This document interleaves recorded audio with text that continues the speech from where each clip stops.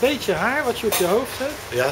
dat krijg je dus door een koe. Door een koe Ja? die een half uur aan mijn, aan mijn hoofd ligt. Ja. En dat doe je op je hoofd. Wat Pindakaas. pindakaas of Ja. hagelslag.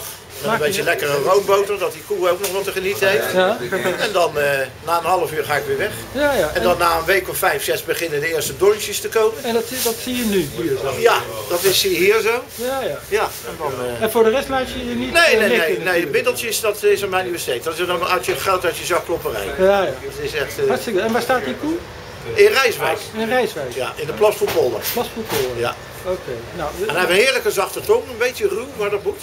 ja. Oké, nou bedankt. Ja, dan geen dank meneer.